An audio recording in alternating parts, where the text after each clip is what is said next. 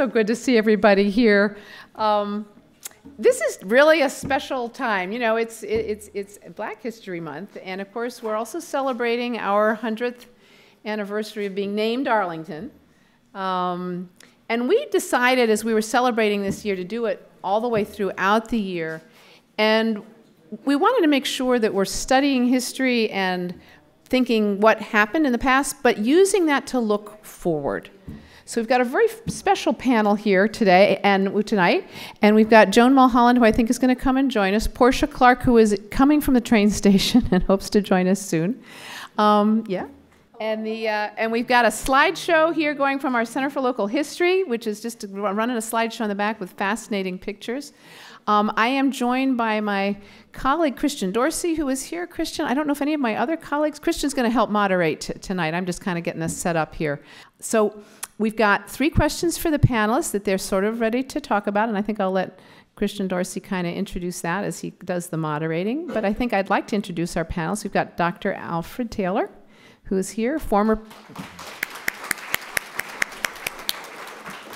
You know, so I'm giving y'all introductions, but you don't need any introductions with this audience, right? I think there are a few people here, though, who are doing some studying from George Mason, or, and so I'll, I'll do the introduction formal thing. Everybody, everybody knows Dr. Taylor, former president of the Arlington branch of the NAACP, 2019 recipient of the William T. Newman uh, Jr. Spirit of Community Award, local historian. He's written a book and done many, many things, which I hope you will tell, talk to us about because he's experienced a lot here in Arlington.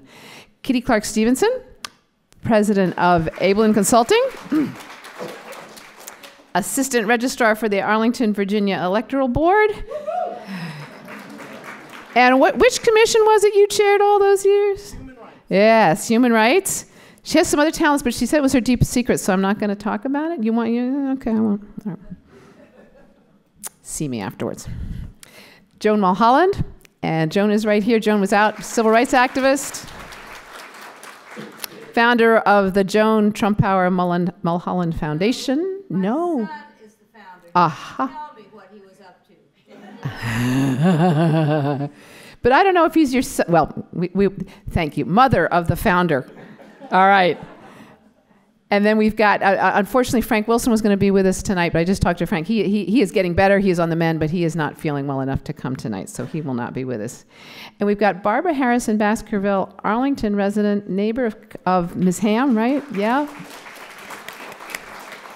Lots of stories to tell, which we're looking forward to hear. And Portia Clark, as I say, president of the Green Valley Civic Association and longtime activist here in Arlington, is on her way. So I think Christian, would you like to come and introduce the, the questions a little bit, and we'll get everybody started talking, and I'm just going to take a seat and enjoy the show if that's okay. Terrific. All right, great. Thank you all. Well, thank you very much, Libby, for, uh, for starting us off tonight and really for inspiring tonight's event. And thank you to the panelists for all being available on this evening as Arlington commemorates uh, Black History Month. I'd also like to extend a, uh, a, thank you to all of you who are in attendance. We realize that during this time of year, there are lots of different community events that are worthwhile that you could be participating in in Arlington and that you chose to be here tonight means the world to us. And I should also mention uh, here in the audience, we have uh, former county manager Barbara Donnellan, uh, who, who this auditorium is named after, by the way. It's like, how often are you in a place and the person that it's named after is actually there as well? And our former colleague on the county board, John Vihstadt, is here. Thank you all so very much for being here. So, you know, tonight is really all about understanding Arlington's racial history and understanding what it's like for people who were actively engaged uh, in a community that, like America, was heavily racialized and produced different outcomes depending on where you lived and what you look like. So we have a variety of perspectives from people who uh, have experience going, going back multiple generations or who have uh, forged a path which has led to a life in Arlington that continues on to this day. So we are going to uh, be open to hearing those reflections, but we did offer some guiding questions that we would like for the panelists to address. Uh, just to let you know what those are, we wanted them to give us a sense of the Arlington neighborhood in which they grew up, they lived uh, during the period that they are going to reflect on tonight, and to give us some really fond memories of what community life was like in the neighborhood within the overall context of a racialized, segregated, uh, difficult community. And at the same time, are there any memories that are really painful and difficult to recall? If they could share those with us. And then, you know, really to the whole point of why we're here tonight, if they could reflect on why it's important that we gather periodically to reflect on our county's history, even when it is difficult, and what the history of segregation and the struggle for civil rights should mean to us all today. And then, uh, really, for our panelists to ponder, and really for us all to ponder, uh, how do we as a community, uh, given what we have heard tonight, what we will hear tonight, what can we do to honor and to learn from that history so that our future is not replete with the same mistakes of the past? So, with that, why don't we begin in the order in which you were all introduced, which will be at the far end of the table, Dr. Alfred Taylor. I grew up in the Green Valley community uh, Thank you. a few years ago and experienced uh, growing up in the community uh, when times were a little challenging between individuals in different communities and uh, race. But the Green Valley community to me was always a village. It was truly a village where everyone was a member of the extended family, meaning that you could do no wrong because one of your family members was uh, somewhere to watch you and had the, all the authority appertaining to your rear end if they caught you uh, somewhere uh. But I went to Arlington County Schools only until the third grade. Then my parents transferred me to Washington, D.C. schools. And it was a funny thing to tell how great the schools were during that time. Although during the era, you knew that Washington, D.C. was noted for having the best school system among African American communities uh, in the area. But the credit to me, when I went from Arlington schools to Washington schools, I was put up a grade, which showed that our teachers uh, had really prepared us uh, for what we were to be faced with. So the growing up in that community was a great community Yes, I played the game of uh, pretending to live in the district by playing the game of duck, ducking the officials so that my parents would not have to pay uh, out of state fee. But uh, I consider growing up in the Green Valley community was no different than growing up in the Halls Hill community although Johnson Hill or Arlington View community, they were all a bonded group who were very concerned about what we did with our lives. They were very concerned that despite the times, we were provided with the best of opportunities. Uh, one of the things that I like to tell, and somebody, some of them may think it's all right, but we were always taught that we were just as good as the white kids. Yep. That was dwelled in our heads. But we couldn't go to Glen Echo. But we couldn't go to Washington Lee. Yep. But we couldn't. But we couldn't. So when integration first came about, they said, Well, Dr. Taylor, what do you think? Well, Alfred Taylor at the time, what do you think about integration? I said, What do I think about it? I think the but have been removed. no difference in me or what we had. It was just that now We could go to the places, but going to those places did nothing to improve our lives or do us any better because our parents, through all of the sacrifices, ensured that we were afforded with the best of experiences, the best of opportunities, the best of education that was uh, available to us at that time, despite all of the th- obstacles that were thrown into our plate. And I'll let someone else move on, and I'll do it again. Okay, um, hopefully you can hear me. Um, I grew up in the Buckingham Apartments, um, which were, you know, cutting edge, garden apartments then. And it was a more diverse community than one might think because it was the only place in Arlington that Jews could rent. And most of my playmates were from liberal New York Jewish families. Their parents had come down for those good government jobs under the New Deal, under Roosevelt. And how my parents ended up in Buckingham, I have no idea, but I'm glad they did. Um, and also, we were near St. Thomas More, so we had all these Irish Catholic kids. Um, and that we ha- all had to get along and play together. And the Jewish kids were told they could not tell the Christian kids that there was no Santa Claus and there was no Easter Bunny. And I found out not that many years ago that all of the Christian kids' Christmas presents were hidden in the tops of the closets of the Jewish kids. And they knew what we were getting for Christmas, but they couldn't tell us that either.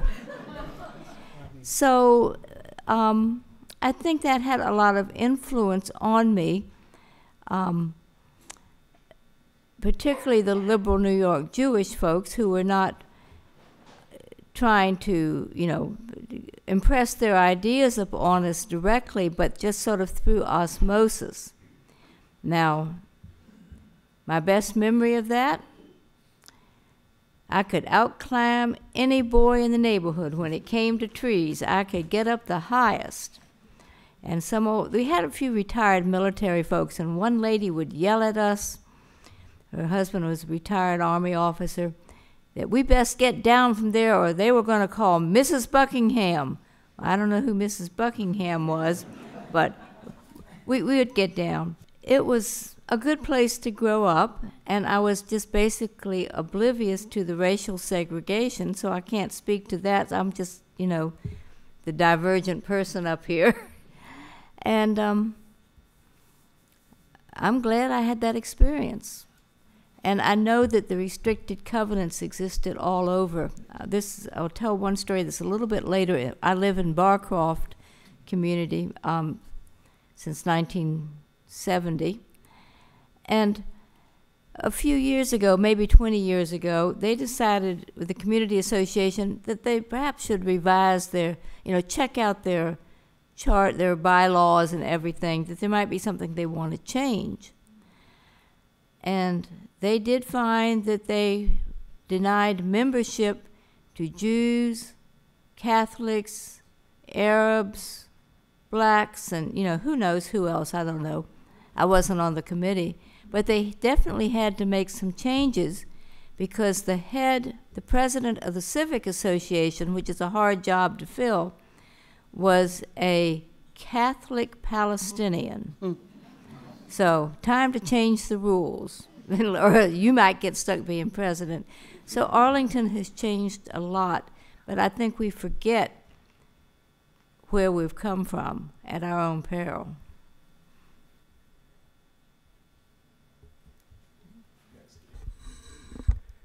Well, I'm kitty like a cat, but I'm not that dangerous. the thing that I love most about my name is that it taught me to fight at a very early age. It comes from this here kitty, kitty, well, anyway. I grew up in Halls Hill, Highview Park. I still call it Halls Hill, sometimes Highview Park. But I grew up on the hill. And, and like Dr. Taylor said, we were really like an extended community across because one of the best kissers in Arlington County grew up in the valley. The other greatest kisser in the Arlington grew up on Halls Hill. I never made it to HB, so I, I, I don't know. Um, but it was just really, really great growing up. My fondest memory, quite interestingly enough for me, as I thought about the questions you asked us to focus on, was learning how to skate on my roller skates around the main campus of the Department of Health and Human Services, if you will, there on North Edison and North 19th Street. Now to become something with the hospital. I, I just see the fences now. I don't know what they're doing. But that's where I learned to skate. And I still have the scar on my knee where I fell. That, that is my fondest memory because the sidewalk was just so poorly done that you could get real good speed and had to make a hop over one big crack and one of the slabs, and then you just kind of slide on around the building, all the way around the side. Um, loved it, absolutely loved it. But when I think about that which was most difficult for me was the civil rights movement and the March on Washington. My father, um, who I still love with all my heart, Captain Alfred Warren Clark. There at Fire Station 8, and I can remember eavesdropping on the conversation the fire chief had with him when the march was coming to DC. And the short part of this story was the Arlington County Police Department had been ordered to pick up any Negroes walking the streets of Arlington during the time of the march. And they wanted to make sure that his children did not get caught up in the net. And I can remember watching the expression of my mother's face about what, what is this? How can you come in someone's home and tell them they can't walk their own streets? It was like, this isn't real. This, what is this all about? And she kind of looked at me and caught my eyes as if to say, just listen and learn. And my father said something on the order of, but this is our home. I bought this house so my children can grow up here, learn, go to school here, go to the playground if they want to here. And then you're telling me I can't let them walk out in their own yard, on their own street? He said, Well, I'm just telling you. I'm telling you what the order is, and that's what's going to happen. They're going to do one or two things. They're going to lock them up, or they're going to drop them off on one of those bridges going back to D.C. They cannot be on the streets of Arlington. And being a young child and having to hear that about somebody that somebody either voted for or hired or put in responsibility, responsible positions, to feel that way about someone that just looked like me that was a very hard thing for me to have to deal with. I think that was the most difficult, just having to deal with that reality. And on a personal level, if that wasn't personal enough, I missed the civil rights movement. It was literally in my front yard. And I couldn't go. I was a very obedient child to my parents to this day. So I'm really cleaning up the thoughts that are in my head to speak to you tonight.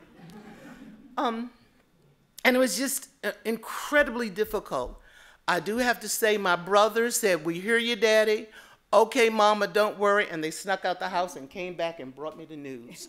so it, at least I got to hear, you know, one degree of separation from literally being there at the march, going there to Poverty City um, seeing how people were being treated. And, the, and then our friends coming from other parts of the DC metropolitan area going around the Beltway through Falls Church to sneak into Arlington. It's not funny now. It wasn't funny then, but it is a memory.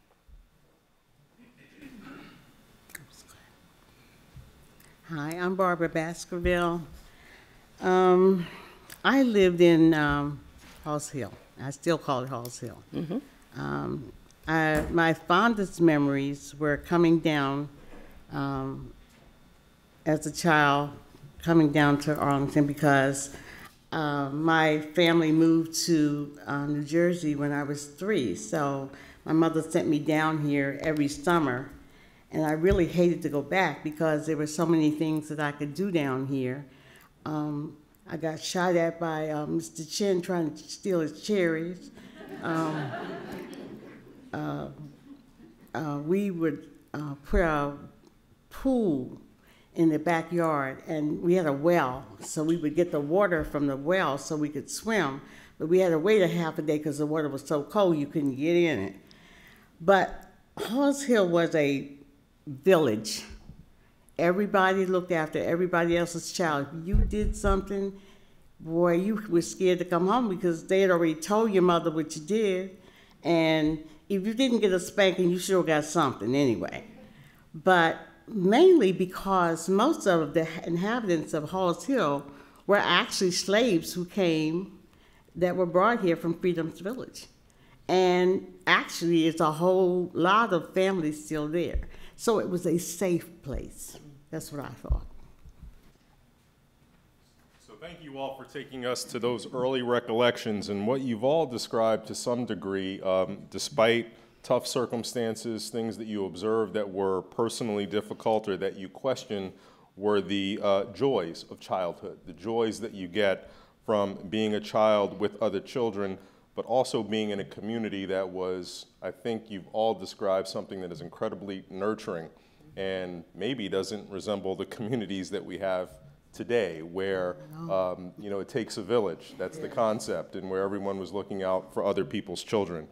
But if we could, if I could ask for you to uh, to pinpoint, and Kitty, you did this, but if all of you uh, wouldn't mind sharing a, a really difficult memory of something that you experienced growing up, where uh, a segregated, racialized place was really thrust on you personally. Um, I think it would benefit all if you're if you're able to to share it tonight. When, when we were going to school, uh, most of the uh, students for, that were going to DC schools at the time used to ride the four o'clock bus from Rosslyn.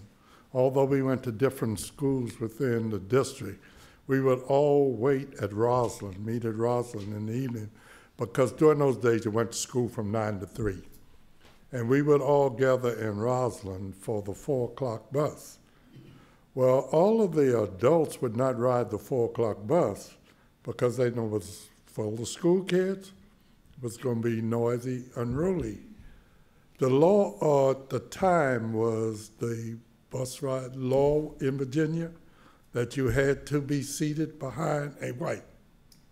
So we didn't have to worry about it because everyone knew about what was happening on the school bus uh, at four o'clock. So people shied away from the four o'clock bus. So, but one particular day in Rosslyn, the, the bus uh, started at Rosslyn and ran from Rosslyn to Green Valley. Uh, a white lady got on in Rosslyn, and the bus driver told us that, all right, you have to move back. And on this particular day, we say we're not going anywhere. And the bus driver said, well, I'm not moving the bus. And we say, we're not moving. They said, you know, I was, wasn't in that. They said, we not. So uh, I wasn't part of that. My parents might come back and whip me today. uh, so say, no, we're not moving. So finally, after a long wait, the lady got off the bus. The bus driver closed the door, drove us straight to Arlington County Courthouse. Summoned a policeman. The policeman came out and he said, All right, you kid, you all know the law. Say, you know, why don't y'all go ahead and do what you're supposed to do? You know, if I told your parents all about this, you would all be in trouble. And the sad part about it was they were true. That we could not go home and tell our parents that we had defied the law because, regardless of what it was for, we would have been in trouble for defying the law. So uh, that was one of the main things that always stuck with me is, you know, everyone celebrates Rosa Parks and all of that. But as a group of kids, we long before Rosa Parks defied the law, but we could not publicize it because the thing that was dwelled into all of our heads was that you don't break the law. As each day I went out the door to do something My father had one word for me. You are a Taylor. Remember, you are a Taylor. And that was how we grew up. You do nothing, you do nothing to embarrass the family name. And if we had been really locked up, that would have been, we would have been in more trouble than that. So that was one of the things, well, I have many that I could come by, you know. In 86 years, I experienced a lot. Uh, Mr. Jones? Thank you, Dr. Taylor. I guess I better pass on this one. Well, but Joan, you can, you can sort of fast forward the timeline a little bit because Oh. you, you were, you were very modest in talking about, um, you know, your role as a civil rights activist and some of the things that you experienced personally. Um, so you can, you can fast forward the timeline from childhood to talk about your experiences as a young adult. Well, we used to have drug fairs and uh, Peoples. Some of you all remember those. And they had those segregated lunch counters. Yes, so did. And I had gotten involved in sit-ins in Durham, North Carolina, picket lines and sit-ins, when the students from North Carolina College came over to a meeting at Duke and invited us to join them. So some of us did, and I got myself a little experience at the lunch segregated lunch counters in the jail cells. And um, Duke University was not happy about this, so we ended up parting company, but I did get my credit hours before I split. And the students at North Carolina College said, Well, if you're going up to Washington, we haven't heard anything from those Howard students since SNCC, the Student Nonviolent Coordinating Committee, the student organization, was formed on spring break. So go up to Howard and find out what they're doing. If they're not doing anything, help them get started and let us know what's happening. Because, you know, back then, no internet, even a long distance phone call was a big deal. So I didn't quite know how to get to Howard, but I found my way there and asking around, and it turns out there was a group of students who had been involved in, I think, sympathy pickets and maybe a little something in Maryland. They were planning to have sit-ins in Arlington, and when they found out I knew a bit about sit-ins and I was from Arlington, they invited me to join them. And so I did, and we started down at Peoples on Lee Highway, and things were real quiet, so half of us split and went up to Drug Fair up near um, Stratford, sort of a catty corner across the street from the old fire station. And um, oh, the, it, it got a little ugly. The students from Stratford and W&L were coming up and sort of harassing us a bit. And then the American Nazi Party made their rounds with these ugly signs, is we is or is we ain't equals, with a picture of an ape on one of them. And, um, but we just sat there and till the store closed, and then the police gave us safe passage to get in the cars to leave. So we sat in here and there around in Arlington, down in Shirlington. You know, there used to be a Woolworths there before it became trendy. And, um, a Lansburghs and things. So we would we would sit in for about a good week, maybe more like two, and then we called a cooling off period so that the um, store officials and the prosecuting attorney could talk, or the um, officials could talk. And it turned out when we went back, we got served. Surprise.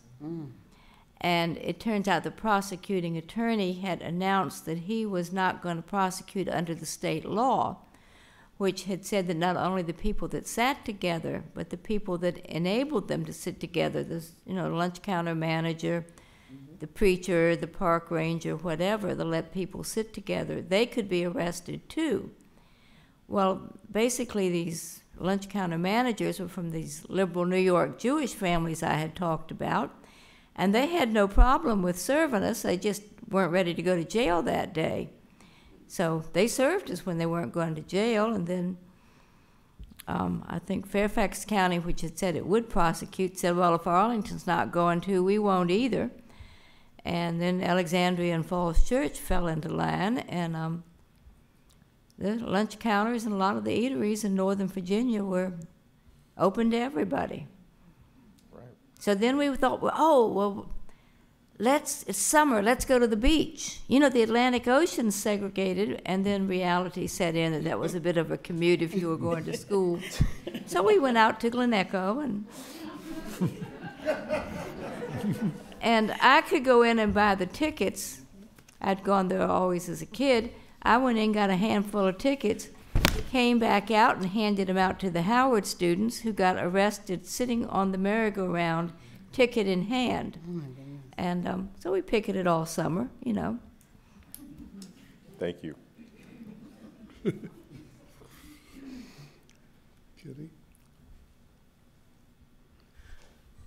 So many things come to mind. Um, one of those um, situations that I found really difficult when it came to the segregation and the integration was trying to find somewhere to eat. And um, my brother did do the sit-in at the Peoples. Good. He didn't make it down to drug fair. He might have been in trouble. But anyway, he, he, he did he did get the peoples. I heard about it. Um, but we could get something to take out of the store to eat. And there was a corner right there at the end as you step inside the door, and you could put in your order, and they would always give you paper items. So you wouldn't get a glass of Coke, you'd get a paper cup of Coke, because they had to use the glass again. But, but be that as it may, just sort of going through that entire experience of dealing with it. And then somewhere between 17 or 16 and 17, I got to work in the Virginia room. That was the restaurant in the basement of the Hecht Company. Oh, yeah. And I was told I could only work the bay, the people that came to the counter, because I was not allowed to serve anybody in the dining room. So not only could I not eat in the dining room of the Virginia room, I couldn't even work in the dining room of the Virginia room. And one night, somebody didn't show up, a, a college student, you know how they work during those times. And they said, well, somebody's got to serve this big party we have. Kitty, would you do it? And I said, well, I'm not allowed to go. You told me I, whatever I do, do not go into that dining room to work because it would be unlawful and I'll get in trouble if I break the law. So, no, I can't do that. And they said, well, we are ordering you to do that.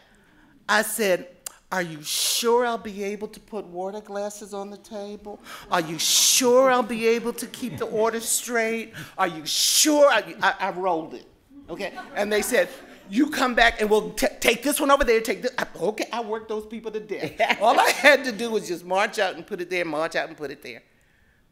And then I got the biggest tip they had ever heard anybody get in the Virginia room. And somebody said, What did you do? I did my job.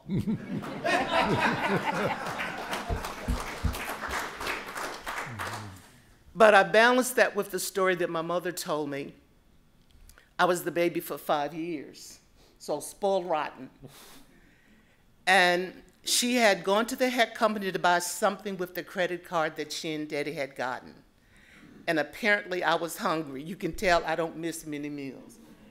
And she said that I went off. I cried, I fussed. I knew better than to roll around in the floor because I had my good clothes on. Oh, yeah. But I, I said, I'm hungry, I'm hungry.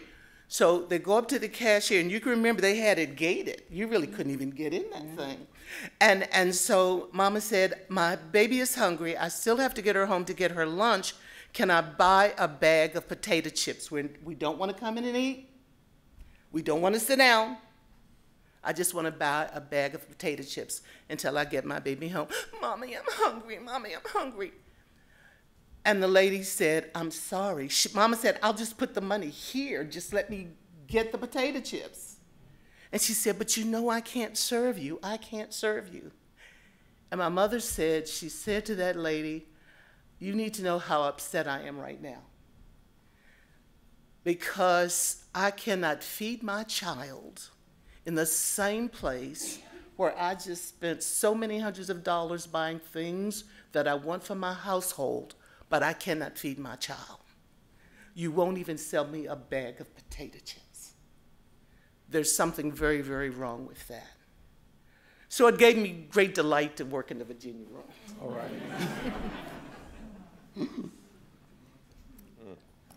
Um, I had um, an ordeal one day. Um, Mrs. Hom asked some of um, the kids, the plaintiffs that were trying to get into uh, Stratford, uh, to go to a meeting at the Unitarian Church. And if I, re- I recall that she left us in a space near the door where you come in and walked away somewhere. I think we were there because the children who were the plaintiffs that were gonna, uh, trying to get into school had to go and take classes and etiquette and all this kind of stuff before we could get, you know, just, just to show that we could be like other kids. And we were standing there. I think there was about four or five young ladies, and I think we were 12 or 13 years old. I, I can't remember. I'm 75, so my memory's not real, real good. Um, but the um, Rockwell had a headquarters, which was right across from WNL. The American Nazi Party. Yes. George Rockwell. Yes. And so they came into that uh, church. And um, they frightened us to death because all they were clicking their heels and they were clicking the guns. And, um, you know, little girls, we were scared, we were scared to death. And I can tell you that it was years before I ever got over that. But I don't think that people realize there was actually a headquarters here, a Nazi headquarters here, right near a school where there were children and all. And actually, I guess it was two years ago it was knocked down. Mm-hmm. The, the building, it was an ugly green house. Right. Yeah, ugly green house. It just, it was just, I, I just never forgotten that. Never. I think even as an adult, I still remember. Mm. Thank you, Barbara. And we've been joined by Portia Clark, President of the Green Valley Civic Association. And, welcome, Portia. And, uh, you know, we're at the point where we've had reflections from all of the panel about uh, the neighborhood that they grew up in, and they've shared some fond childhood memories. And then we've also gotten into what were some difficult childhood memories in an Arlington that was racialized and segregated and, um, you know, very much what we hope different than what it is today. But we were just having some reflections on all of that. So if you're ready, we'd love to have you uh, join in. Okay, well, I'm, I'm originally from Green Valley. Um, not born there because of the times, but raised there the rest of all of my life so far. Um, and back then it was Green Valley, and today again it is Green Valley because at one point it became known as Nauck. But those of us from there always knew we lived in Green Valley. So I guess one of my fondest memories of growing up was having the component of family. Um, my family, all from the area, still mostly live around the area, and it was that connection and bonding that the families had. My mother and her siblings, they took care of each other, and that was a strong family component. So wherever we lived in the community, you had that family bonding, whether it was with relatives or neighbors. Um, and then what happened in 1971 was a drastic change for us because the schools were desegregated. And at that time, I was going into middle school, and as a result of that, I ended up at Gunston, TJ, Hoffman Boston, and then back to Hoffman Boston when it became a model school. So it was kind of disruptive during those years um, because the schools were being desegregated, and yet we had some families that preferred that we stay sec- we stay segregated, but they wanted us to have equal access to books and funding. And that didn't always happen back then. So there was a group that led an effort to desegregate the schools, and at one point I asked, well, why all of this and what for? And somebody told me, oh, because if you all are sitting in class next to people who are achieving, you'll do better. So as a result of that, by the time my kids entered school and um, I had them, I had a, a daughter that went to four elementary schools before she got to fourth grade. And that was very disruptive. And it was one of those situations where it was difficult because I had to become an activist back then, and we had to lobby the board so she wouldn't end up going to her fourth elementary school. We got caught up in what the practices were back then. If you lived on one side of the street, you went to one school, and if you lived on the other side, you went to another school. And then by third grade, you had to go to a North Arlington school, was one of the practices. So our kids ended up in Nottingham, Jamestown, and Tuckahoe. So it was very disruptive to that family component that we grew up with. You know, we couldn't go next door and have tea with the mom and talk about what happened in school. So as a result of some of that, I think it broke up our communities. And today, of course, I say back then, my mother and her siblings had a social media network, which wasn't internet, but the telephone, because they took care of each other. They called, found out what somebody needed, they provided it, whether it was childcare, whether it was cooking, whether it was a ride to work, they provided it. And the same thing for our neighbors, whereas today we live in neighborhoods that are disconnected. Um, we've been gentrified somewhat, most of our, all three of our African American communities, and Green Valley was one of those last affordable neighborhoods that still had a large contingent of African Americans who lived in the community, owned their homes for more than 30 years. And now it's being gentrified even more because as those individuals die out, what's happening to their homes? Most of our kids can't afford to live in those communities. Um, they have to move to areas where they can afford to live, and then when they inherit the family home, they sell it. So a lot of that has happened to us, and I think that impacted our kids in school, which I've always wanted somebody to do a study and tell me what impact that had with breaking up Drew.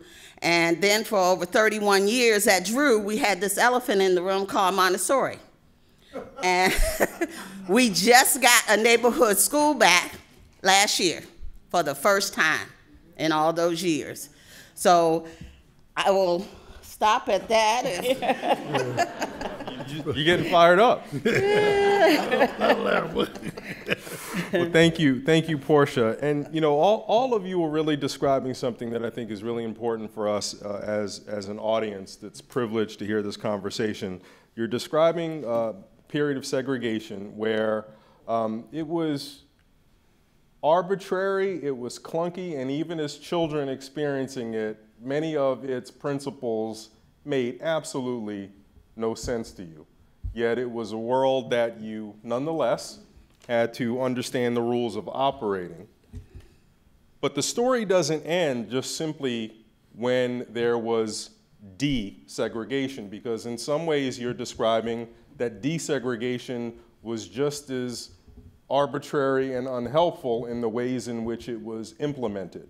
And even though the narrative and the timeline is that we went from the evil days of segregation to the wonderful days of integration and inclusion, the truth is that it's a lot messier than that. So if we can just then shift towards the period of desegregation in Arlington, what are some things that we all need to know about how it, it may not have been as rosy as the story that we've been taught or would like to believe?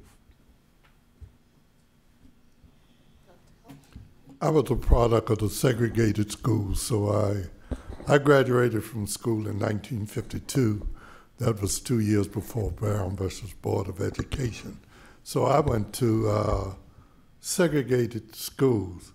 I went to, my parents sent me to Washington, D.C. schools because at that time I had more choices in the D.C. schools than in the one school that was in Arlington School was Hoffman Boston. Hoffman Boston at the time was an unaccredited high school, no library, and very few. The teachers there were excellent, but the facilities and the resources uh, stood a lot.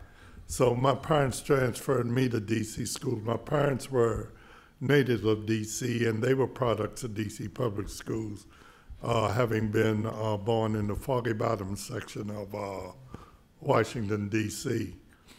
Uh, I went to DC schools because it afforded us more choices. In fact, at the time during the segregated days, there were five high schools for uh, blacks in Washington, D.C. There was Dunbar High School, which was noted mostly as a college preparatory high school. And you might say, uh, what was different about Dunbar?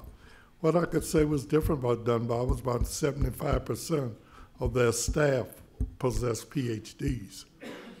They taught in the District of Columbia Public Schools because at that time the public schools in the District of Columbia was supported by Congress and got more money than the state schools got.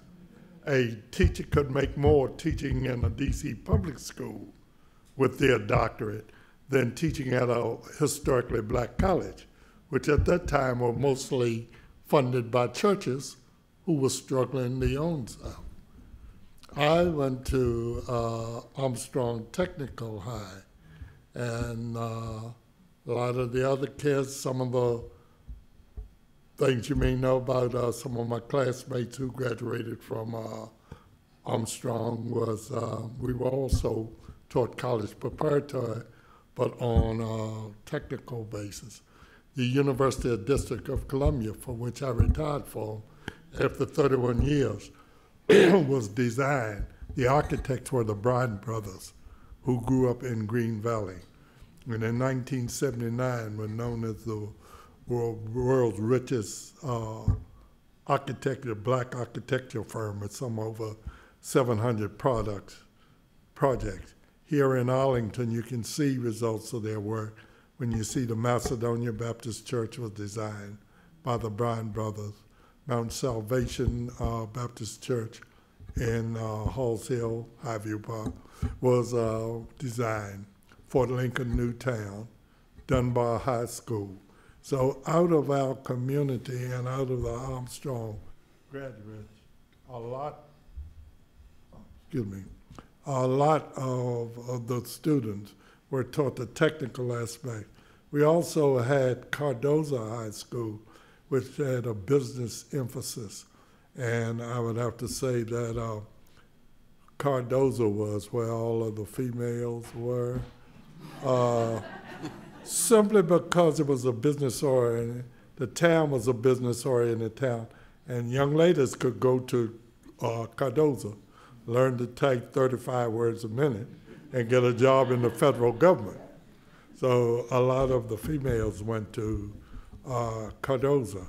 We had Phelps Vocational, which was a boys' vocational school, and Margaret Washington, not Martha, Margaret. Margaret Washington was a girls' vocational school. So we could take advantage. That's why a lot of the kids went from Arlington to DC schools, simply because of choices, not before quality of teaching. Because I told you earlier, when I went from Arlington schools to DC schools, I was put up a grade. So, but it was for the resources and the choices that the DC schools offered the kids. Uh, until 1946, if your parents worked for the federal government, you could go to DC schools regardless of where you lived. In 1946, they started cha charging tuition for out of state students, and a lot of the students then had to transfer back into Hoffman Boston because the parents could not afford to pay the tuition that was uh, at that time.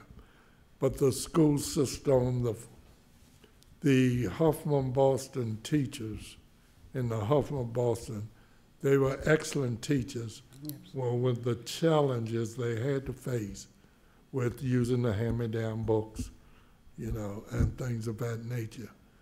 But uh, that was my uh, schooling of coming into uh, the community, which I cannot speak for all of the pub, my education in the Arlington Public Schools, but what I did receive from the public school set me up to be where I am today. Thanks, Doc. And what about for you, Joan? What did the period of, of segregation bring that we don't often think about?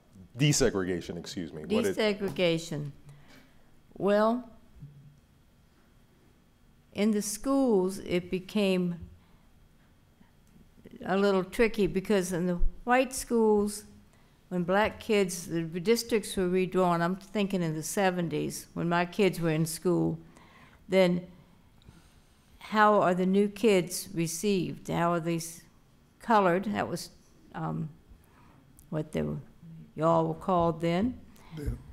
Um, but it became like two, two separate groups in the school, not much mixing between them.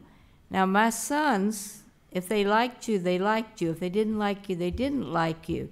And they caught a bunch of flack from uh, other white kids for having friends that had just been zoned in.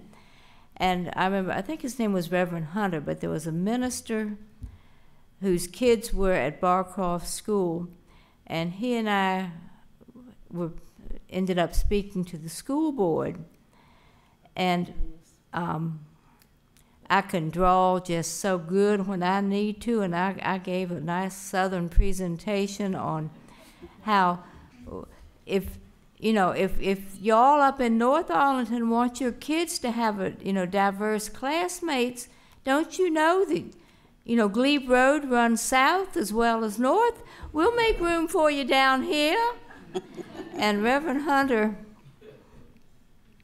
man, he he he could um he could preach, and um he he sort of did a good Jesse Jackson imitation, uh, almost as good as my Southern Belle imitation, and um, made it clear that we we could integrate schools in the South with, you know, you white folks from up north, and um, so that we had that experience, and they ended up not closing Barcroft School um, after that, which they had were threatening to do, but I remember one of my sons, when he was in kindergarten, there was this black kid who didn't seem to have any friends, and my son became friends with him. And I said, well, years later, what, why did you like Eric? I think his name was Eric. He said, well, he had the same shirt that I did. We had matching shirts. Well, I knew both of them had hand-me-down shirts from Sears and Roebuck. um, it was just interesting to see the different perspectives, and I think my sons had their perspective because of my involvement um, in the civil rights movement and stuff. They, they'll tell you they didn't know anything about that, but I'll tell you they weren't listening. They were just looking for a chance to, you know, go play when all those old folks were hashing over their war stories from the sit-ins and all. But um, it was sort of tricky where they were redrawing lines and busing kids and the folks who were getting the new kids coming in, the old folks weren't liking the new kids, and I reckon that made it pretty hard for them. I'd say, um, you know, back then, churches certainly were very powerful, and we had some ministers like Reverend Hunter even before him, Reverend Robinson, Reverend Walls, and those that came out and helped to fight those battles that we had to go through during those times. I only wish those churches was as active today in the communities because they don't live in the community as much anymore. But that really helped us during those days, particularly with me coming along after all the 60s movement and us growing up learning how to be activists at an early age. Uh, one of my fondest memories at Drew was third grade in Miss Hazeline Harris's class, the day Dr. Martin Luther King was assassinated. It was a blessing to be in her class and for the warmth and the guidance that she gave us during those years. Because in that class that day, we all cried. Um, and we were still segregated at the time. But following that, we were instrumental in helping with, I'd like to say, getting it as a holiday because we would skip school, go downtown to the marches.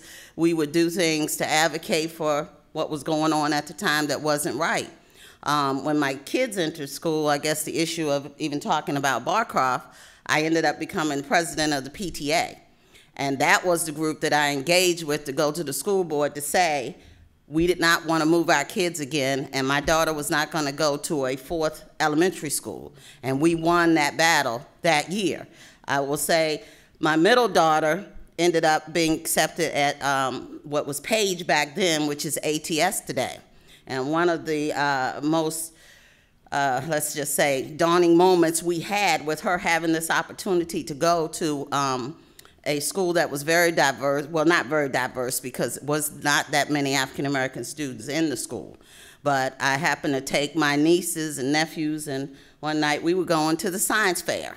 And my daughter had a project she had done. And we ended up at the science fair going through all the exhibits. And my niece looked at the exhibit next to my daughter's and asked the student if she could touch it. And the little girl said no. And my niece didn't understand that. And when she asked why, she said, because you're black. So that was an opportunity for those students who really hadn't experienced what we had experienced growing up with situations like that. But she had let my daughter touch it because my daughter was in the class. But when she responded, it was no, she couldn't touch it just because of the color of her skin. But it gave us an opportunity to educate them and to talk to them some more. And I think they learned a great deal that year about it wasn't about the color of your skin, um, because they ended up playing together and learning who my nieces and nephews were, and they all ended up getting along. Um, I had the um, honor, and I still try to frame it that way, even in my own heart, to be part of that graduate, um, no, integrating class at Swanson Junior High School. And I was on the hockey field when Kennedy was assassinated. And I can remember almost getting into a fight because I could not believe that someone would kill our president. That was just so hard to just absorb that. But be that as it may, I had to get over the disappointment of not having gone to Hoffman Boston and, and known Mr. Griffin and all of those different kinds of things that my older brothers and sister told me about that I was looking forward to. And one of the worst experiences I had in Arlington County Public Schools was my counseling session with the career counselor, where everyone else was talking college preparation. She informed me that it was very nice and very clean, and that I would make a great maid. And, and, and then she offered me a job for the summer. And I, I had to make my brain say, don't get into trouble. Mm. You know what your mother would expect you to say. And so I had to inform her that I, I knew I had other plans for myself, and I knew my parents had other plans for me. Why is it that we can't visit places like Virginia State or Howard or, or uh, Morgan State or something like that? And she didn't know what I was talking about. And I can remember thinking, why would you not want to learn what historical black colleges and universities are in this country? Why would you not have prepared yourself for those of us that were being forced? I was the last class at Langston in sixth grade that had the choice. That was the last year we could choose to go to HB. My mom and daddy said, You're going to Swanson. So I didn't have a choice. But that's okay. Y'all know how obedient I am. And, and, so, and, and so I'm there. And I never did tell my mother how that session went with the counselor. And, and, I, and I told her, I said, Well, I don't think she can really help me because she doesn't understand what I need. And she said, Well, do I need to talk to her? I said, Oh, no, no. If, if that woman had told my mom she was going to turn me into her summer maid, we'd have made the papers. We would have made the papers. And, and, and so, and, and so, you know, that, that still bothers me, obviously, to, to just try to deal with not understanding what we would need and how rich that was at HB for us and my brothers and my sisters and the generations before and my mom's siblings and, and all of that, that, that was something that integration took away from me and did not develop a plan to bridge or replace, to recover. And we were the children. And then the classes that came after us, um, before you even got there in the 70s, they too had to have the briefings on how we behave in this integrated situation but they had to learn how to eat fried chicken with a knife and a fork. And when they told me that, I said, oh, yeah, I really need to go early because that's not how you eat fried chicken. But, but be that as it may, etiquette, etiquette, and proper manners, you know, you had to go through all that. But the piece that really gagged me with the proverbial spoon, and I'm going to try to make this sound nicer than it is in my head. But you know that Washington Golf and Country Club up there on North Glebe Road? that same one. Um, Swanson would hold its eighth grade prom thing up there. And we were all excited about that. And we were hooking up dates. Now, you know, I had to date a cousin because that's all we got up there, right? but anyway, we, we're getting our dresses and things together to go to this prom. And all of a sudden, we were told that we couldn't hold the prom that year.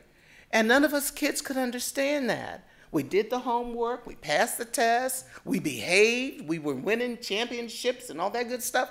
We can't go to prom. What's up with that? Fortunately, one of my white girlfriends, whose mother worked for the Arlington County School Board, gave the backstory. And the backstory was is that they would not allow us to come in because we were Negroes. And so they wouldn't allow us to hold the prom up there that year. And Swanson had just put in a whole brand new gym floor. And they were saying, well, we can hold it in the gym. Well, it would be different than what all the other eighth grade classes had had at Swanson for I don't know how long, but that was okay. But then we were told we couldn't wear our shoes. You got a pretty dress and can't wear your shoes. But anyway, you can't wear your shoes. And I said, well, then what are we supposed to do? Everybody had to go out and buy these nice socks. Fancy socks. You should have seen us dressing up these socks trying to make them look like shoes. We were going to the prom. And, and, then they decorated it. I can remember the balloons and the streamers and the colors, and we had a lot of rah, rah, rah school spirit. We really had a pretty good time. And then I remember how careful we were not to tell everybody why we really couldn't hold the prom, where it had been held as a tradition for so many years. And, and you know, we, we could have worn socks at the Washington Golf and Country Club if they were worried about their floor. You know, we could have done that. But that's life in Arlington. Um, I think I'd like to introduce some things that lot, I believe a lot of people don't know anything about here in Arlington. Um, I remember my mom told me that um, when it was time for me to be born, uh, black women couldn't have babies at Arlington Hospital, and I was three blocks away. Yep. She, we were living three blocks away. And so um, she had to go into the District of Columbia to what was named then Freedmen's Hospital. Yep. Uh, some say it was for the free, from the slaves Yep. from Arlington Freedmen's. Cemetery. Um, and so um, I kept, I always asked her why, why, why we couldn't go over there. Everybody else went, and she would say, Barbara, because we're black. There are other issues that uh, we had there in um, in Halls Hill. Um, there was Arlington Hospital, and black patients could only be on one hall. It was called a hall. Yeah. And if there was not a room for you, or they didn't have a place for a bed for you, then you were in a hall's hall with, with things hanging off of you. Um, I remember I was in my 12th year at W&L when my mother had to have surgery. and we, my brother and I, um, took her to the hospital, and the candy striper went past a hall. And I stopped her. I said, "Wait, wait, wait, hon." I said, um, "We have to, co- we have to go back here." And she said, "No, I'm taking her to the second, second floor." And I said, "Well, you're gonna get in trouble, because we only go on a hall." And I know it was 1963, and um, she told me, she said, "No, um, here's the paper," and it had the room number and everything on it. And Reggie and I almost fainted because that we didn't. I don't know when it started, but Arlington Hospital was close enough for us to know that they made that change we should have known. So it was, it hadn't been very long that they'd been able to go there. Um, what else was I thinking about? Um, I'm, I'm 75 now, so you have to bear with me. Uh, what's one other thing I wanted? I'll, I'll tell you what, let's go on and let someone else. Uh, Ms. Mr. Dawes, I- uh, on the Arlington uh, Hospital story, I would like to just take that a little further. In 1934, uh, Dr. Roland H. Bruner was hired by Arlington County to work in their public health uh, service. He was hired to uh, teach uh, Planned Parenthood to black black females. The Public Health Bureau was in Clarendon at the time. Uh, but they would not let Dr. Bruner teach or practice in the public health center. They opened up a room in the Arlington County Jail for him to teach black females Planned Parenthood. Dr. Bruner, the reason I know the story so well, Dr. Bruner opened his practice in Green Valley in July of 1934, and I had the honor of being his first delivery. Uh, because at the time, as was said earlier, Arlington Hospital would not accept our parents. So you were either born at home with a midwife, or the now we had a doctor in the community to assist you, or you had to go to Freedmen's Hospital. You may see friendly cabs on the street now. That was how friendly cabs started. Oh, That Mr. Ralph Collins used to transport people from Green Valley to Freedmen's Hospital because that's where we had to go all the way over there for medical service because Arlington Hospital would not was not a welcoming place, and out of it, it went involved into the friendly cab service uh, that you see the friendly cabs on the street now, where there are 49 cabs, and the family still owns the franchise to that and live in the Green Valley community. So there are a lot of stories out that we could go on that because of the obstacles that was thrown before us made us have to do our own thing and be our own business and out of it evolved a lot of things a lot of practices that the african american communities the three major communities i say we had some minor most people didn't even know we that we had an african american presence in Ballston virginia Yep. most people don't know we had an african american community in Rosslyn virginia Mm -hmm. but the three major don't know that forerunner of the Penrose was Butler Holmes in there. So we really had three major and some minor spots around. But in all of those communities, we had to do for ourselves. Uh, Playground, as you may know it now, was purchased from an African American family by the county, then told the people that all we needed was a sports field. When they purchased it, it had an entertainment complex there. We had dance hall, we had motorcycle, dirt track, racing and things. Arlington County purchased it in 1942 and said all we needed was athletic fields and took away everything. So Arlington County may be this progressive county now, but Arlington County has some in its closet. A lot of stuff in its closet. My father worked for Arlington County government for, nine, for 44 years. For 44 years. When my father retired from the county, he was the assistant superintendent of the sanitation division. At that time, as an African American and worked for Arlington County, was only two divisions you could work in, or the public works, or you could work in the sanitation division. My fault, I happen to be blessed with a photographic memory. So if you want to know some stories on what Arlington County, let me talk to you offline sometime. I have one other thing. I Go ahead. Barbara, absolutely. Um, we had a theater in Arlington. It was on Glebe Road. It's called the Glebe. And of course, we weren't allowed to go there. And so um, it was eventually uh, my mom sued the theater. And um, I said, Well, Mom, why, why are you suing them? She said, I said, you, You're not going to go. She said, That's all right. Uh, you'll get to go. And so she sued them. She won. And then she got a letter from them. I think what the confusion was, they thought her name was Freddie. I think they thought she was a male.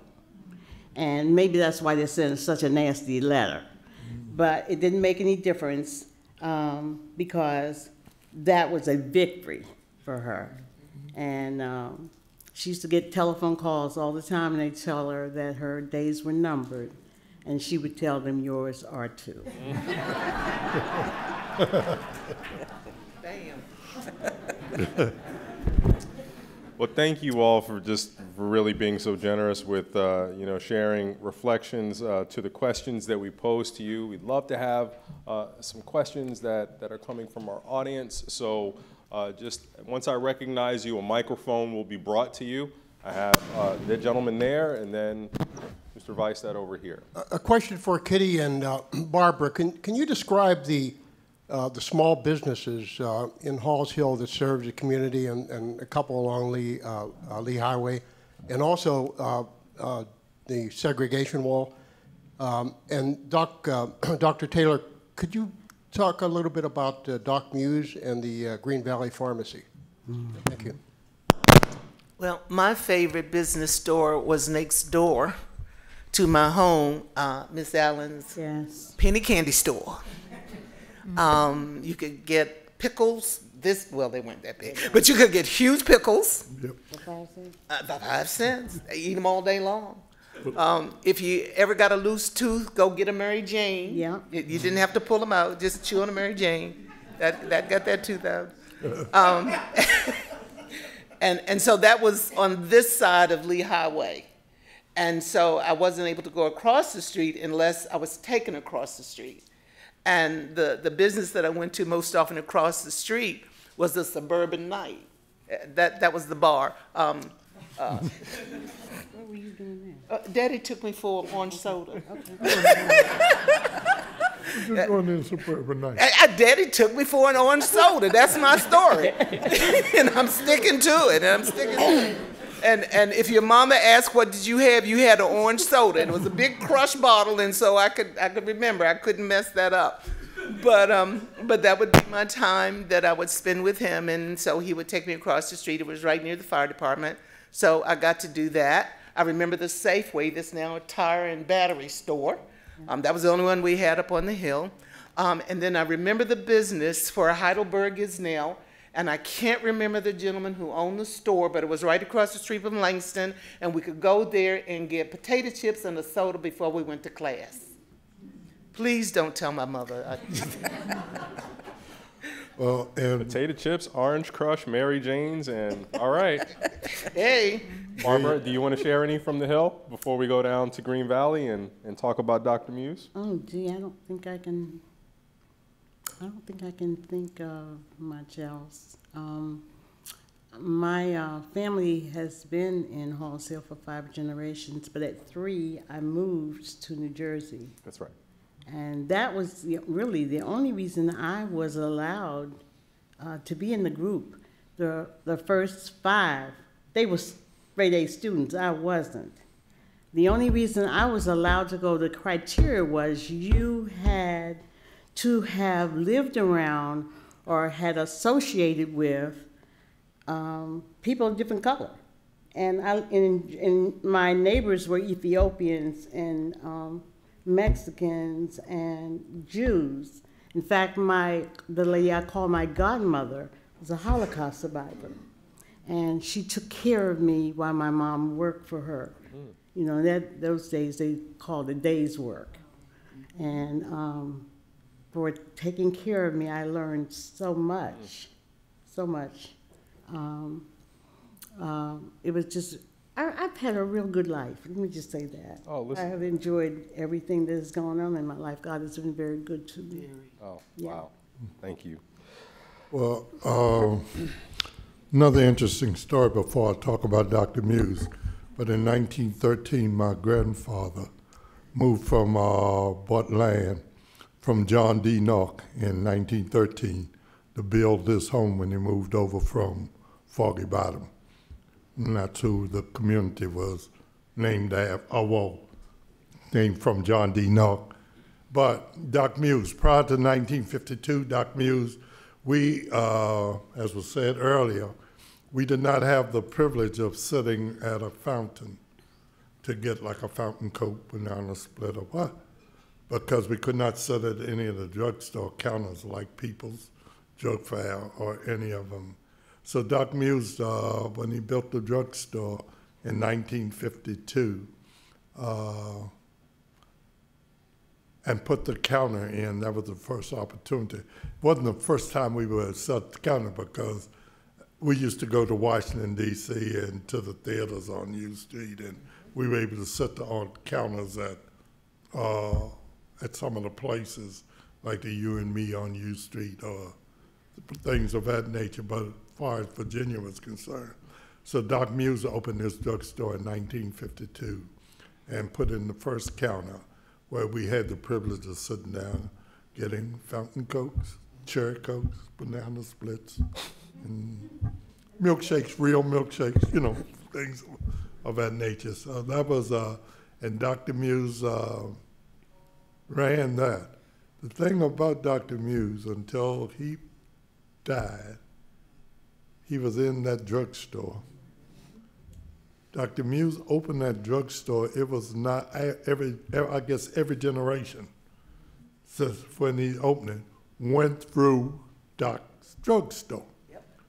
You know, that was the gathering place at Doc's drugstore.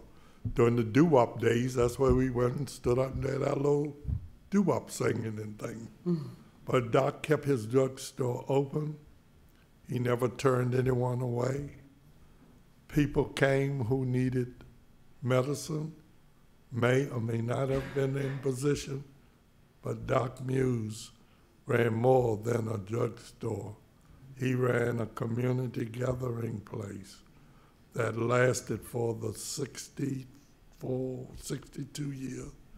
Or well, the reason I can remember the year that he opened it because that was the year I got married in 1952. All right. Portia, do you want to share any Portia reflections worked on Dr. Oh, yeah. In the late 60s, my mother used to run the food counter in the drugstore, and that was actually one of my first entrepreneurship opportunities because she'd take me to work with her in the morning when she'd open up. And I would sell penny candy for Doc from the other side because that wasn't open and Doc didn't come in until later. So I started selling penny candy at Drew out of my locker. And it was a nice business. Now and later's and Mary Jane's went very well. But another story with Doc and my family, my, my dad and his brothers, my, my uncle was uh, Galvester Crawley who ran the barber shop. And then my father and his brothers and all, when we would get sick, they'd go to Doc to get medicine. And for years, they always told us they went and got something and it was called Save the Baby. And I'm thinking it's a real medicine that Doc had produced called Save the Baby, because whenever we took it, we were well and we got better. so one day, about, you know, right before uh, Doc, maybe about five or six years before Doc passed away, I said, Doc, do you remember Save the Baby? What was that? He said, oh, that wasn't nothing but some cod liver oil. but Doc served our community well, and we had a lot of businesses. If you had shoes that needed repairing, you went to Walker's Shoe Shop. Um, you went to uh, Miss Mackley for your hair to be done, who had her academy where Friendly Cab Stand was. But uh, the businesses grew around Green Valley, and I tell you, we supported them as a neighborhood, and that was some of that community component. That if you needed something, you needed, even one of my neighbors, would tell me how her husband and his buddies would get together in the evenings and they all helped build each other's houses. Mm -hmm. And this this was something they would do regularly. And she'd say how, well, you know, they'd get together and get a couple bottles, and if they, you know, finished their work, all I had to do was cook for them. And they built those houses. So there's several houses around the neighborhood that those guys built after getting off from their regular jobs. But again, that's a part of that community component where they took care of each other. You'll also, there was a restaurant, it was called Shady Dale.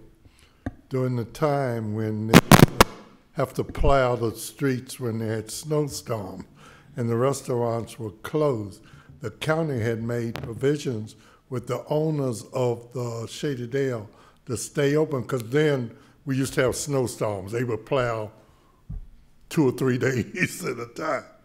But we could not go in, we could not go to the white restaurants. But the county had made arrangement that their drivers, white and black, anyone who had to work during the snowstorm, could come in and eat at uh, Shady Dale. So, you know, it was, uh, things were never. So uh, there were a lot of businesses that started, as Portia said, her entrepreneurship started uh, when she was selling penny candy. Mine started in junior high school when we used to take industrial arts. And we used to take uh, half a year of printing, half a year of woodwork, a half a year of electricity, and a half a year of sheet metal. Well, when I took printing, I found out that I could print name cards with your name and address on it and sell it to kids for, you know, 10 for 10 cents. And that started me off with my entrepreneurial spirit, which will eventually grow, grew to I own, have in my lifetime, I've owned two printing establishments and things.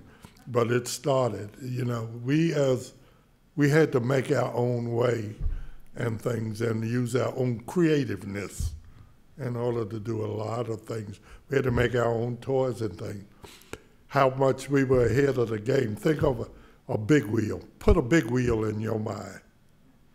You know how we used to make big wheels? When you outgrew the tricycle, you turned the frame upside down and you put the seat in the curve and just transfer the wheels. And that was a big wheel. That was before your time, before our time. Somebody took that idea and they made uh, a big wheel out of it. We used to take barrel staves, and girls used to take the barrel staves. Out of it, someone came up and called it the hula hoop. Okay. So most of the things we had to make, we made our own soapbox derbies and things of that nature, just by spare part, because we didn't, were not, uh, and I, I'm not saying that to say I thought it was good, because it made us very creative and things of that nature. That uh, not to have all of these things just given to us, but we had what we needed because it caused us to be creative and make a thing. You know, take a bicycle. We'd get all parts and make our own bicycles, so it didn't make it. All right. Uh, There was one more question um, about the wall, Oh, yes. s- Yeah. the separation wall. And um, I, I just ignored the thing, um, to be quite honest. And I'd climb over fences. I could still jump fences until I was about 25 years old. So I, I didn't let any of that bother me. But it was an, um, an embarrassment when we had company come. And they go, why does this street run into the back of this house? What's, what's up with that? And why is this wall here? And if you don't know, there's still portions of that wall that still exist today, even though they've cut the road through. Um, and I just sort of accepted that people do things like that when they're afraid and they don't understand. And it was always troubling that we sort of felt like we were put on a reservation because it was one way in and one way out. And they kind of always knew where you were. And between about 20th Street on the north side to 19th Street, um, there were the blacks on one side of George Mason Drive and the whites on the other side of George Mason Drive, and it was not paved until I think 1967. And so you couldn't even go straight down George Mason Drive from north to south. We use it as a ball field, by the way. It, it, it worked out. If you still look at the Nauck community, the Nauck community has more paper streets than any community in, Green Valley community, than any community in Arlington. The average street is three blocks long, so you can only get out. There's no cross streets. Uh, Each street is three blocks long. So you have to come all the way out your street to go down the street, to go into the next street if the house was right behind you. If you look at the Nauck community now, or Green Valley, every street is still, if you ask them about Block M of Nauck, they would shake their head and say, it's, it's hard to grid. But uh, those are some of the things, one way in and one way out, as the Kitty said. In my presentations, I also asked her, there was another wall, and there was was another wall in Arlington besides the wall in Halls Hill. Anyone know where that was? No? Well, that's the one that's partially still That's the one they're talking about. Yeah. was a big wall for us on the south side. It was called Route 50. It divided the north side from the south side. Mm-hmm. North didn't go to south, and north, uh, south didn't go to Nauck. Mm-hmm. Most of the people who lived on the north side never went through the, to the south side. Mm-hmm. In my presentations now, when we say, gr- uh, when we used to say, they would ask the question, well, where is north? I say right below Columbia. Oh, I thought that was Green Valley.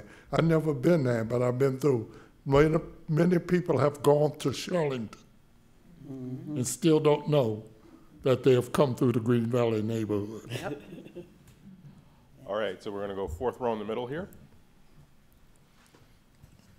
Thanks. Really fascinating stories this evening. You're all leaders in your own right, and I'm wondering if you have any reminiscences about Frank Wilson, who got elected to the school board as an African American a number of decades ago.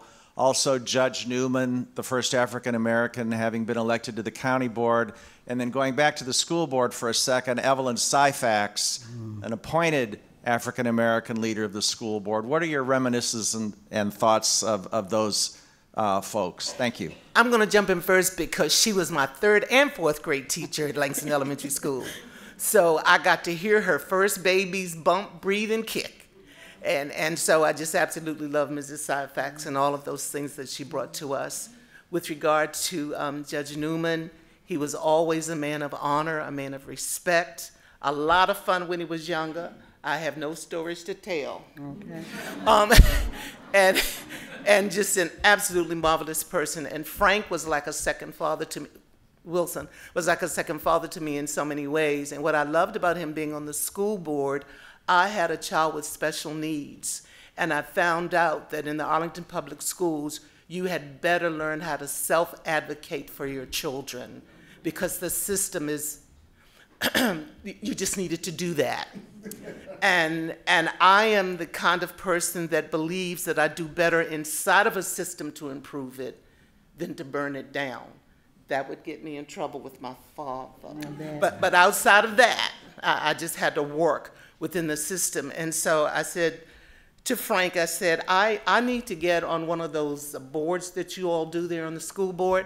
And he says, What do you want? I said, I want the one that deals with special needs children. And he said, Why? I said, Because my son needs the help. And what I have learned is that if you don't seem to have someone with whom you can sit down and explain why your child's education is important to you, they don't seem to get it. And, and so I would really like the opportunity to do that. And he did that for me, along with a lot of other things that he did when he served on the Arlington County School Board. And um, a man of great honor for many reasons. But Mrs. Syphax, that's my girl. I will say, even before Ms. Syphax, we had Eleanor Monroe, who was also a Green Valley resident and former PTA president at Drew, who was active during that period of time before desegregation of the schools, but the wife of Thomas Monroe. Well, I'm remembering um, Mrs. Syphax when she visited Barcroft School, and my two of my kids were in kindergarten, and Geronimo, my baby, crawled up on her lap, and she just gave him the biggest hug and let him sit there the whole time she was in the classroom. And for years, she would ask how he was doing, and um, so she she really connected with the community, even my son Geronimo. I really do not approach this. Once I retired from the university, I taught in Arlington County Public Schools for five years. So I've experienced five Februaries.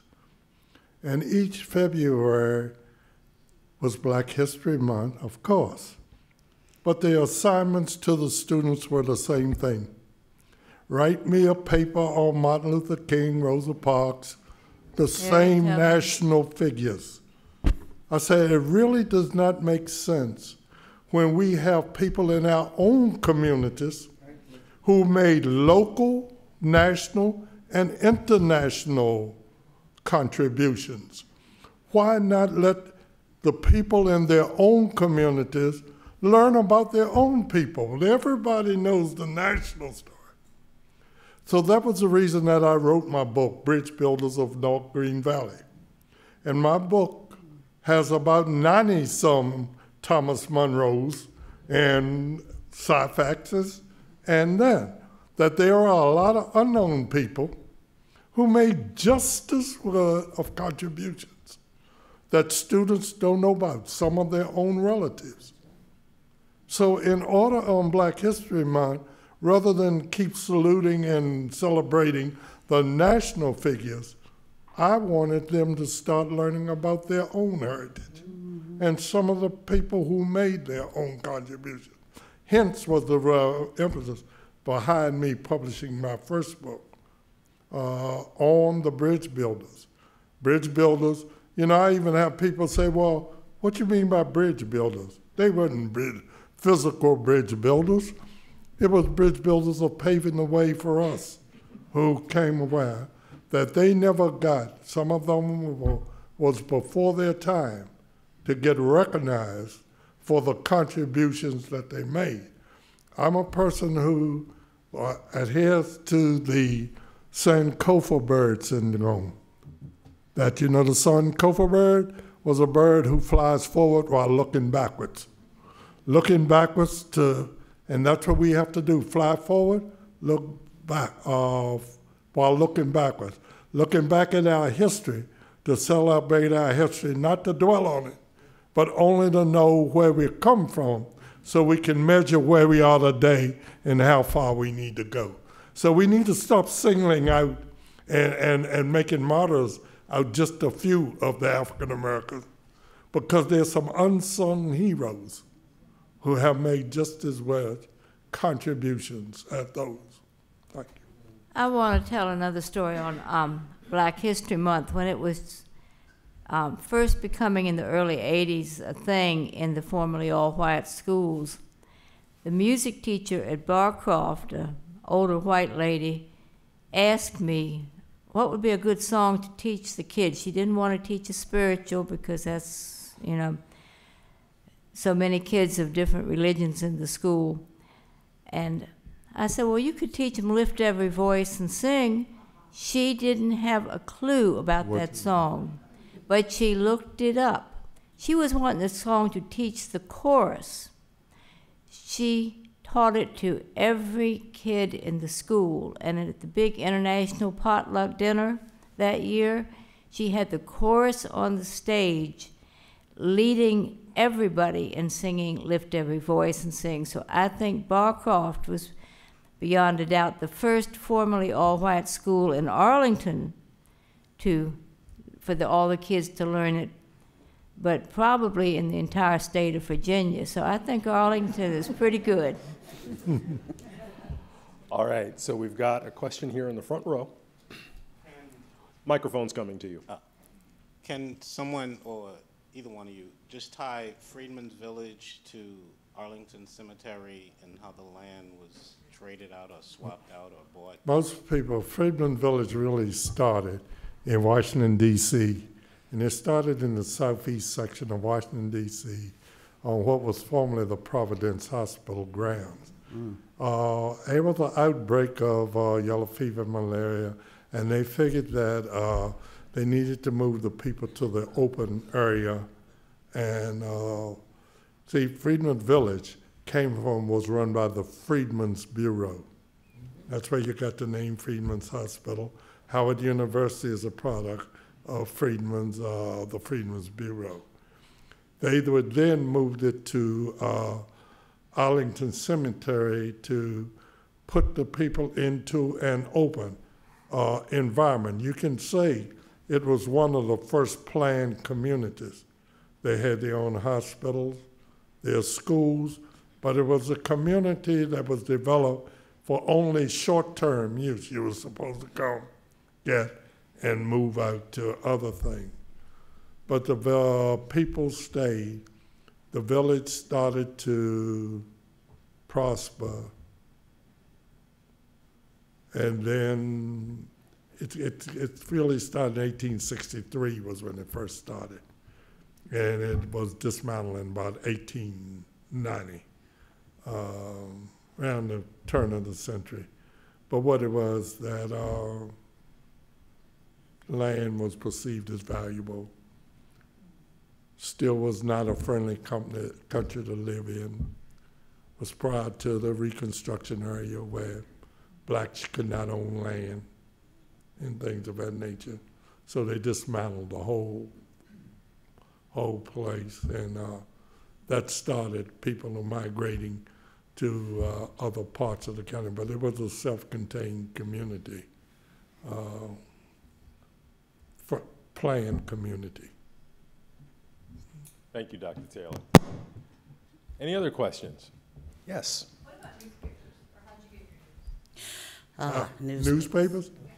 They had the Times Herald, they had the Daily News, they had the community newspapers, the black ones, the Green Valley News, Busy Bees, Afro-American, Pittsburgh Courier.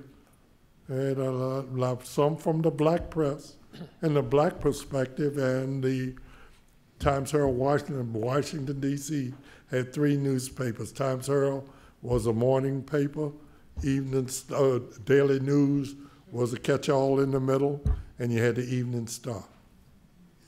I'd say in Green Valley, what most people wanted for a newspaper was the Green Valley News, which uh, John Robinson published starting in the 60s. And most people would get that Green Valley News to see who died, who was born, who got married, Who got all of the up. community news of what was going on in the churches. He had different reporters. And then it got to the point where John published that newsletter up until the year he died and he used a typewriter to type it on because he didn't have a computer all those years. But I actually um, inherited the original Green Valley News is that he had typed since 1963, where he had issues, and you could go back and figure out who had who got divorced, who had babies, who died, whatever happened in the neighborhood, and it was also his forum for encouraging people to get out and vote. Mm-hmm. He uh, chastised parents if you weren't doing your parenting duty.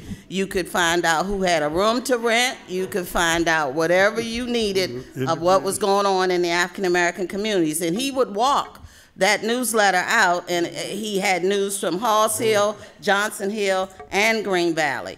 That was one of my second jobs because John started that newsletter with us earning money. If you come down on Saturday mornings and help us collate and staple the newsletter, and then take it out in the neighborhood and sell it, if you sell it for 10 cents, you get to keep five cents and you bring five to me. And many of us growing up in the community went down there on Saturday mornings and helped put that paper together. Um, John also developed a group of teenagers that then started helping to collect the news and report it. So he, he, he was, that was the news for the neighborhood. And it just got to the point in the end where a lot of the elderly people, they liked getting it, you know, sort of like reading the Washington Post. And I asked my mom one time, well, why do you read the obituaries? Well, they read it to make sure they're not in it. But uh, the thing about John Robinson, we could have another whole session on John, Indeed. just here. But the the Green Valley community, just a, a couple of few weeks ago, uh, purchased a memorial plaque for John's grave, and uh, we had the ceremony, and now John has a plaque on his grave site at the uh, Pleasant Valley Park. Mm. And we will be, we have named our town square after John Robinson, where his office used to be located. So it will be the John Robinson Jr. Town Square. Or it is the John Robinson Town Square. All right, do we have any other questions? Yes. Okay, so uh, if we can get the microphone in the second row, I saw the young lady at the far end first. Wait a Perfect. minute. And this is going to be our last question, I apologize. Okay. All right, hello. Um, I think it was Miss Portia Clark. Will you enlighten me? I didn't understand the reason um, for elementary school, you'd have to go to three or four different elementary schools? When, when um, the 1971 desegregation plan was started, the, they came up with this idea that in order to get the Drew broken up, we would um, send kids to Nottingham, Jamestown, and Tuckahoe. And it first started out that if you lived on one side of the street, like even you went to the north side schools, and if you lived on the other side, you went to another North Arlington school. And then over the years, there were several changes that were made to that plan. So the next iteration said, okay, we got so many issues with all of the kids being bused and not being able to go to Drew as a neighborhood school unless you were accepted to the Montessori program. Um, even though Drew had a traditional program, most of our families didn't know there were two programs in one building. And if you didn't go and apply to Montessori when you had a three-year-old, you were highly unlikely to get in at kindergarten. So the other iteration was by the time when they decided, okay, parents complained because kids were on the bus too long going to North Arlington. So they decided they would change the rule and you could go to a South Arlington school until third grade. And then for fourth grade, you had to go to a North Arlington school. And in my daughter's case, she was uh, not accepted into the Drew Montessori. So she was put in Claremont as our South Arlington neighborhood school, and then the next year they closed Claremont. So then she had to go to Barcroft as the next South Arlington school. So when she got to Barcroft and reached third grade, she was scheduled to then go to Nottingham. And that's the reason why a lot of our kids ended up going to different elementary schools before third grade. The point was that although the kids lived right around Drew at that time, they could not go to Drew because Drew was a uh, choice or countywide. You had to apply for, so kids could live next door to Drew, but yet they were bussed out and gone to other ones. Reverse bus, reverse integration.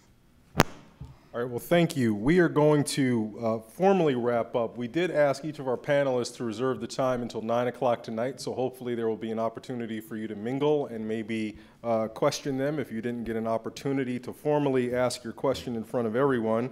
You know, I'll just say uh, briefly uh, as we close out this segment of the evening, as you think about Arlington's history, clearly we all can understand that segregation exacted a, a huge cost.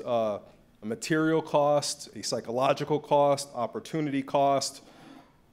But it's not that simple because at the same time, there were some rich traditions that were in place, um, and there was a tremendous sense of community that each of our panelists described experiencing that produced a lot of great creativity and resilience, as is evidenced by the people that we have in front of us today. But it's also true that when we got to the period of desegregation, it didn't undo all of the issues that we had experienced during our segregation, segregated past. It brought with it a new set of issues and challenges and concerns. But through it all, hopefully you're getting a sense of the incredible resilience that these individuals had, but that they also passed on to their children and loved ones. And I would just like to say on behalf of all of the organizers of tonight, thank you so very much for giving us a sense of that wonderful history, but your unique role in it. So please join me in thanking our panelists.